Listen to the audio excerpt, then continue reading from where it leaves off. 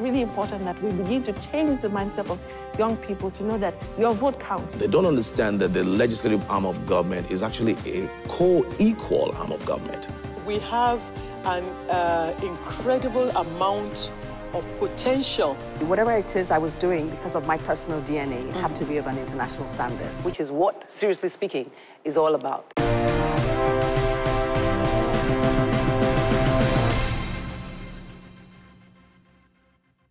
Hello there. I'm still on my theme of the good, the bad, and the ugly about Nigeria. There's always something to say about Nigeria. There's good, there's bad, there's ugly. Today, I'm focusing on something that's very good because it's innovation in the area of technology. Why I find it interesting is that I have three guests in the house today who are doing work that will not only advance the unity of Nigeria, but will project Nigeria beyond Nigeria to the international space. And it's also quite interesting that there's a wide range of age right there, from the very young to the not so young, and to those who are at least a little close to where I am. But still, they're doing great things that you can learn from, that you can learn about, and that you can also use. I'll be back on Seriously Speaking if you don't go away. And I am still Adesuwa Onyenokwe. Welcome back. The first person I'm going to introduce to you is someone I've known since he was in diapers. He doesn't like to hear that. Well, that's what the truth is. And, uh, but he's doing interesting things which most people his age would rather be doing something else. You know, we've heard of all kinds of negative things about the young in Nigeria, but this is one positive story because, well, Jonathan Maji is my guest on the show today. so, you know, but you know, before I tell people why I have you here, I want them to say a little bit of the reason because it's created something that's called Unix. Does that have anything to do with unique? Every person is unique, so Okay, let's see what you've done. I want to see a little bit of that before I continue my conversation with you. Okay.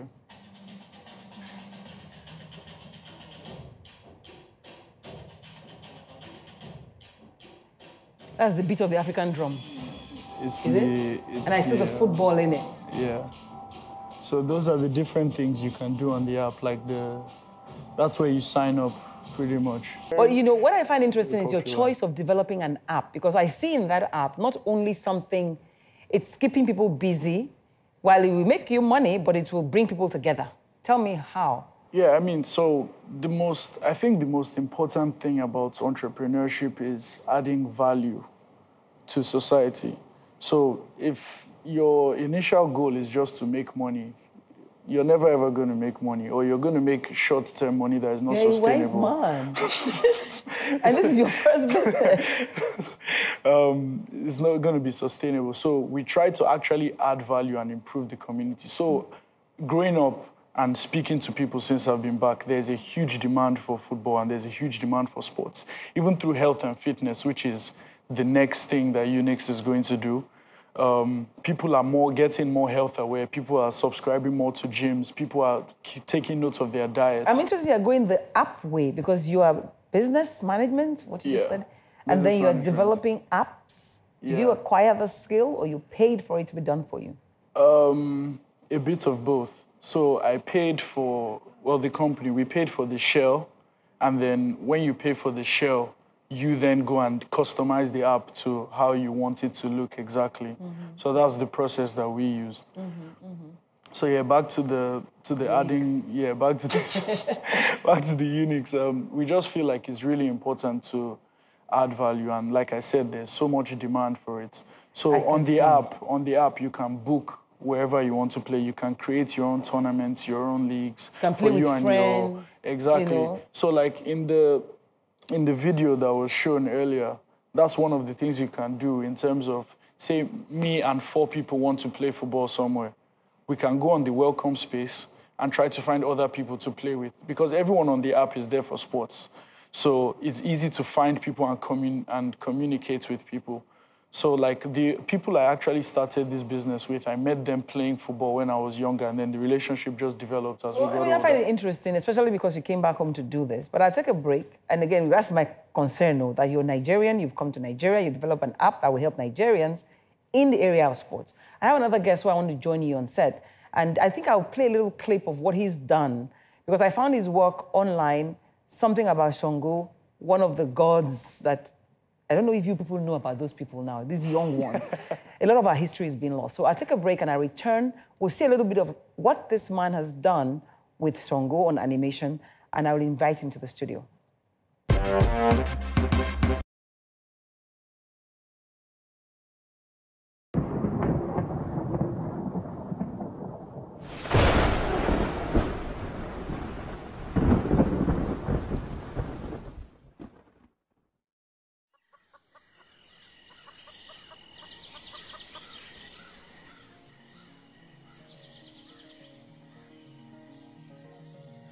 Bàbá mo fẹ́ mọ̀ nípa ọjọ́ ọ̀la mi ni.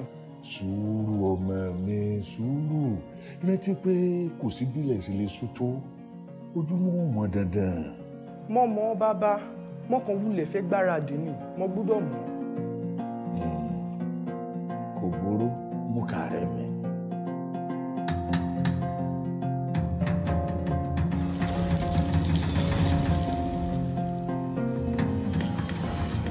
Ṣe ọ́ bí ikọ̀ tí mò ń tọ́ dà lọ́la.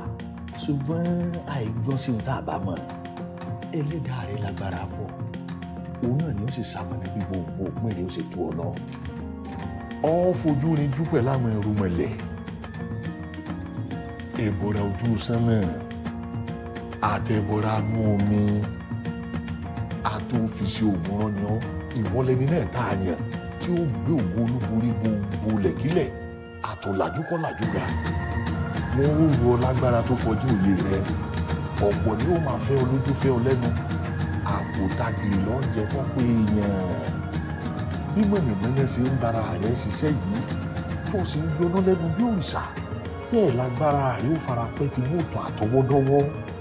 Ṣùgbọ́n agbára yìí kan tí ó mú kógo rẹ búyọ yìí náà ni ó gbé ìṣubú rẹ o. Tọ́ba wá kù wọ́ nìkan kọ́ ọ ara rẹ pa Ṣàngó. Interesting.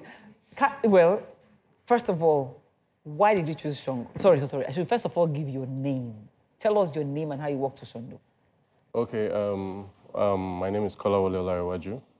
You don't do color at all. No, I always try as much as possible to add the Wale at the end. That's why I didn't call your name to introduce you. Yeah, Other- because if you search on Google, if you type Kola Olarewaju, other, other names, other people come up. But if you type Kola Wale Olarewaju, yeah, you get me there.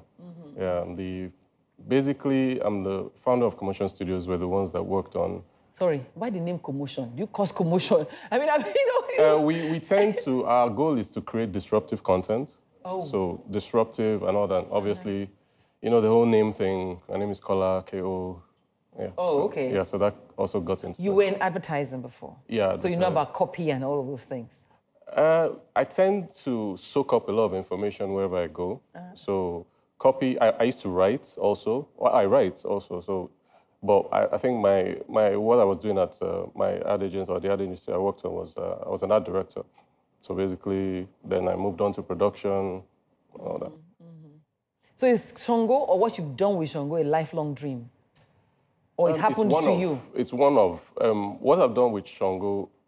I, I'm a storyteller, so I, I try to find interesting ways to pass on messages through different mediums. I, I, I came from a traditional art background, so I used to paint, um, I used to sculpt and all that. But once I got into computing, I, it, it's quite interesting. I knew that that was the future, so I was saying, how could I merge those two in such a way that I could also, you know, tell my stories through that, those mediums. But over time, as I was growing up and I was learning, uh, I found out that it was quite expensive. You know, it was quite an expensive venture. but Maybe you should hire people like uh, Jonathan to devise a way to make this thing. Yeah, yeah, we need, we need, we need a lot of help in this country, you know. Um, and I think there are a lot of talented people that are willing to do different things, but they don't have the avenue because of, I don't, there's, there's the system, you know, in Nigeria is kind, it's kind of, I wouldn't, I wouldn't use the word flawed, but it has, it has its, you know, lapses and weaknesses that doesn't allow for certain things to flow. It's allowed for Shango. No, um, in this scenario, I, I, I would uh, say You were disruptive. I had to push. I had to push harder than normal. And I think that's why, because right now it's getting some global uh, attention. I think that's why a lot of people are surprised because you know, it came out of Nigeria. That's why we even put the caveat at the beginning that was 100% made in Nigeria, just so that there's no confusion. Um, we, we had the same. But we would know definitely because Shango, will Oyibo write anything about Yeah, Shango? they can. They could have a, a, a Nigerian writer, you know, to give something authentic and produce it there. Yeah. You know, and uh, we had those same issues with every other person. Uh, power generation, you know, we had to, you know, use. And I think that was actually uh, that that brings me to one of the interesting things about this project, which was the fact that it, it was basically almost zero. Uh, basically, it was as cheap as four hundred dollars to produce. You say that, but did it really cost you 400 to produce that great animation? Um, cash-wise, yes. Um, I- but but what happened was the, the a lot of people saw the potential of the project and came on board uh, at the early stages, and I was I was overwhelmed with with the amount of um, support. What does it take to do that? You need You need um, you need hardware. You need um, of, of course the talent for different aspects of the of the production. Uh, of course, you need power. You what about need- the software? the software? Yeah, we, we also reached out to the the Because this is like virtual reality, I No, mean, no, or no, 3D. no. What's It's- this called? It's 3D animation. Okay. It's 3D animation. We also have a, a virtual reality angle of our company called Giddy Virtual Tours, but we'll get to that. yeah, so, um, yeah, so yeah, so the software companies we reached out to, they gave us like a free demo of their softwares. You understand, based on what we're trying to do. You know, my next guest is going to join us. I mean, fine, because I think we should just finish the conversation here because I now have a very big chair that can fit everybody. I'm going to invite, um, I call her Iya Tejumade because she created a character that fits also into our culture and tried to do the same thing that you're doing, but differently. So storytellers can take advantage of what you're doing as well. I'll be right back with my next guest if you don't go away. Thank you, Kola Wole. Yeah, thank you.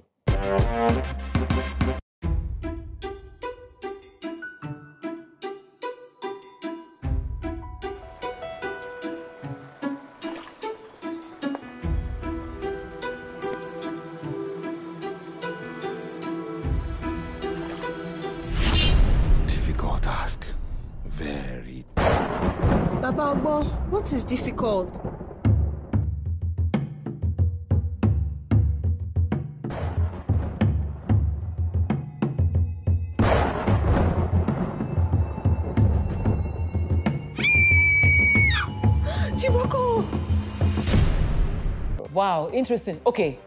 Iya Tejumade, for the benefit of this show, I will welcome you as Iya Tejumade, but your other name really is Bimpe. Okay, Eh? thank you. It's nice to have you. Thank Our you, gentlemen have created space for you there. Okay. But first, you know why I brought you in at this point? He spoke about Shango actually having some relationship, even with Thor, and Marvel has shown interest. Now we're talking about Nigeria. Nigeria is 57 years old. Yes. In fact, and you tell me that some of the things that you're doing now, you couldn't do it until you left Nigeria. That you saw the value of our culture. True or false? True.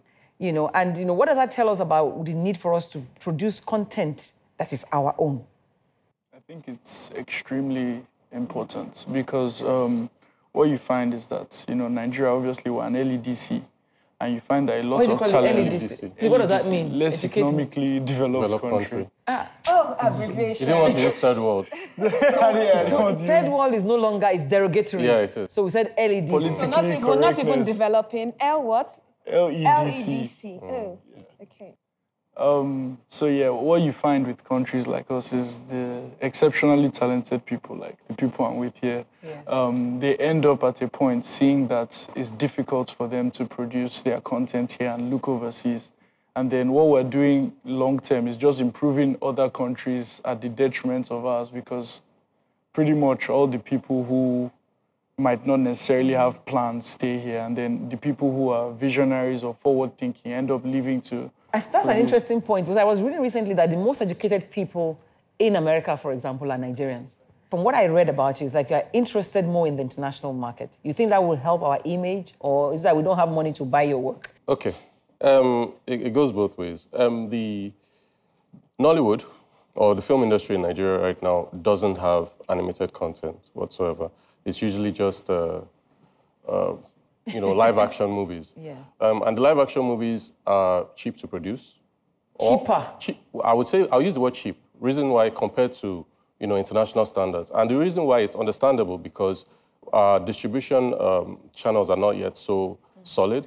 So basically, we tend to just distribute within Nigeria or some cl- cluster of African countries, maybe uh, you know some film festivals here and there. Is there positive response Yes. that shows that money can actually be made out of this? Now, if you have the numbers in terms of the people, Mhm. money money can be made.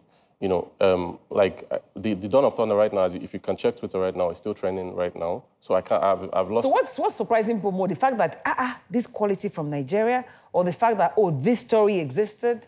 this quality from Nigeria, and it looks like a good way to project the country to, you know, because we, there's a lot of negative stuff about Nigeria if you check online. So it's like a breath of fresh air to them, as to Nigerians, that we have this. I want you to give me what you think Nigeria's potential are from different perspectives, very quickly.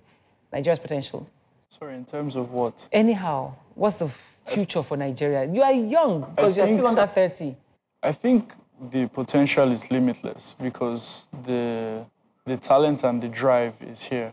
So even from schooling in America, a lot of the top performers in school are Nigerian. So you can attest to that fact. Yes, I can attest and to Unix that can actually with what you've done. Because I like the fact that you've decided to do something regardless. Don't wait for a job.